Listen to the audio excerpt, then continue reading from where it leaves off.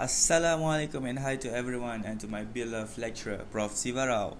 Thank you for this opportunity for allowing me to present the third assignment for our product which is roller soap dispenser.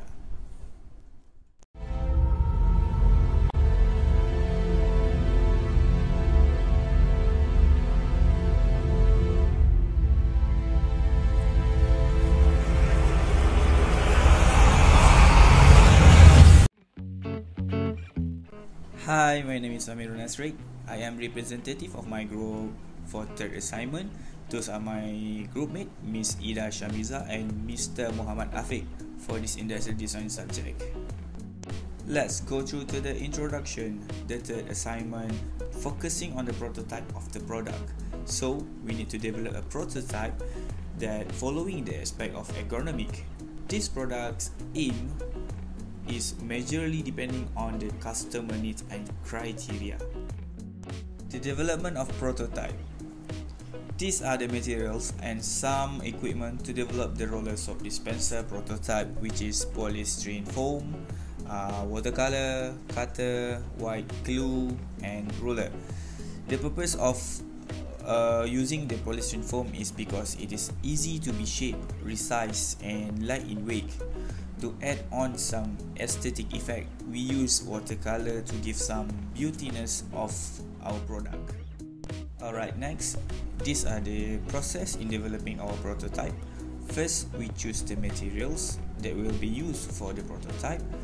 For our product, we are using the polystyrene foam for the body.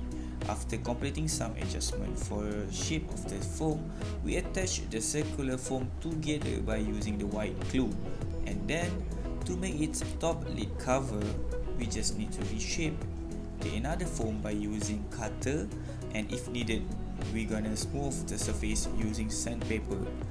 Next we construct the roller and the roller mechanism for the soap dispenser at the bottom. For the last component of the prototype which is liquid level gauge we only need to plug out some foam by using small cutter Last but not least, we assemble all the components together to get the full prototype. Not forgetting to add the aesthetic effect to our prototype, we use watercolor to decorate the prototype to indicate some function for the product. Alright everyone, this is the final product for the prototype of the roller soap dispenser.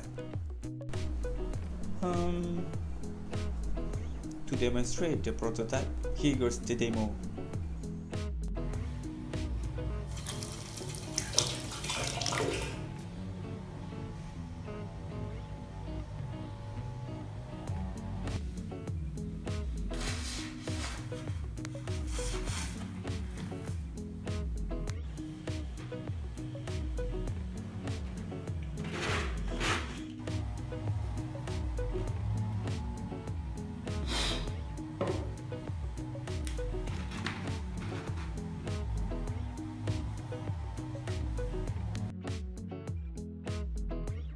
How was it? Oh wait, we got some analysis to do for the product analysis. Here's some analysis to show that our product are following form follow function. Top lid cover make it easier when filling the soap. Liquid level meter show the liquid soap level that remaining in the reservoir.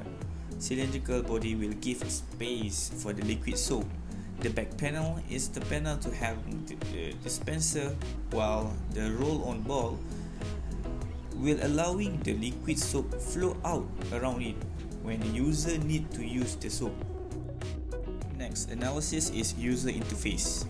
The affordance for the roller ball are easy for user to using the soap. Second, the user just need to slide the roller front or back to get the soap out. The affordance for the liquid level meter, the user just looks at the side of the body to know the level of the liquid R.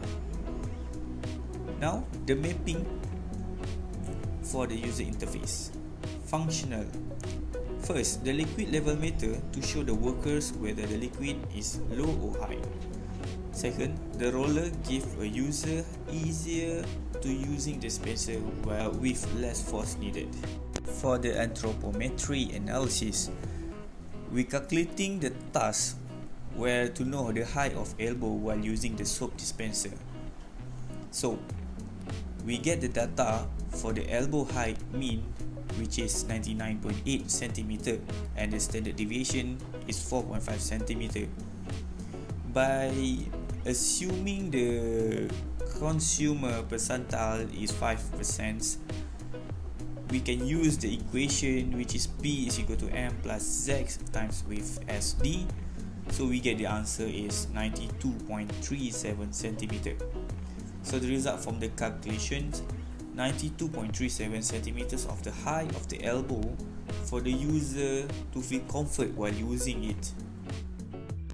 Conclude this prototype, our objective have been achieved where we follow the ergonomic aspect.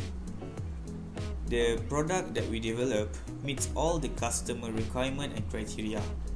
And last but not least, our prototype fully identical to what our select the concept for the prototype.